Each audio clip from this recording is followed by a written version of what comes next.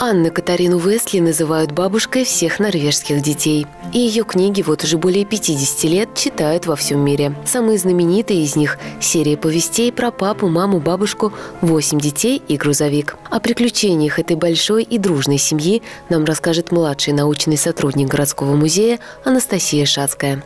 В нашей семье есть традиция, когда я читаю перед сном своим детям. И мы уже прочитали довольно много книг, их трудно чем-то удивить. Но вот книга, о которой я хочу сегодня рассказать, она не просто их удивила, а вызвала такой восторг эмоций, потому что только героев здесь 8 человек, 8 детей. У них есть мама, папа, бабушка и целый грузовик, который кормит всю семью. Книга состоит из нескольких глав. Каждая глава заканчивается э, э, так, что хочется прочитать следующую. И когда я заканчивала читать одну главу, мои дети говорили, а что дальше, а что дальше будет э, потом с ними происходить. У моих детей есть любимый момент, когда ребята находят собаку, знакомятся с собакой. Казалось бы, большая семья, но что еще не хватает?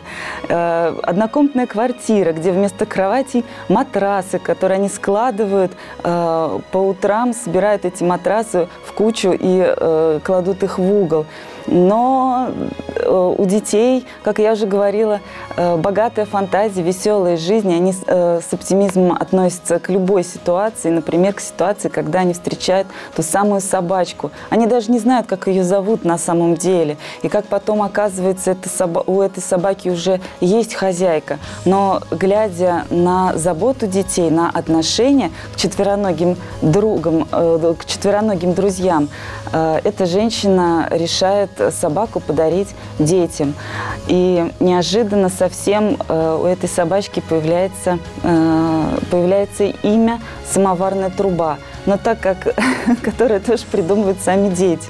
Но так как у нее уже было имя Ганнибал, то они решают, что Ганнибал это будет все-таки имя, а самоварная труба это будет фамилия. Это не богатая семья, и работает только папа. Но удивляет и детей, и даже взрослых то, как они могут вместе э, собраться э, и э, как они могут вместе собраться и проходить все испытания, какие-то невзгоды. На, вот радуются дети такому неиссякаемому оптимизму. Хотя книга, конечно, учит э, детей труду, учит э, слушать маму, папу и даже учит взаимоотношению родителей и детей. Поэтому всем обязательно советую. Если у кого-то тоже есть такая традиция читать детям перед сном, то обязательно включите эту книгу э, в этот э, перечень. А если нет такой традиции, то нужно обязательно ее заводить и следует начать, конечно, с книги Анна Катарина Вестле.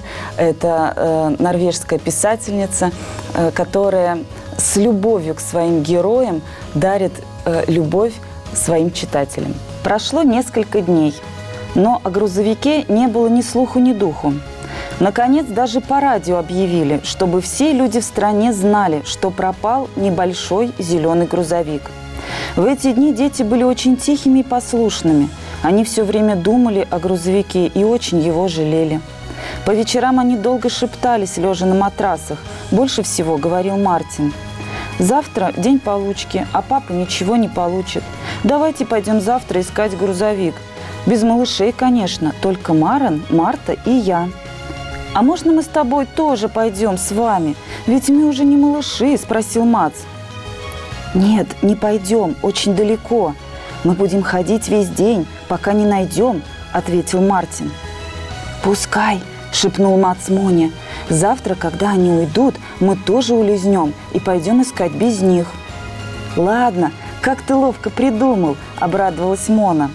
Скоро они уснули.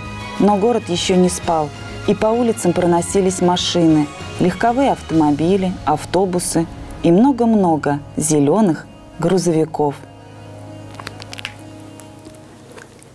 Папа, мама, бабушка, восемь детей и грузовик. Анна Катарина Вестли. Рекомендую.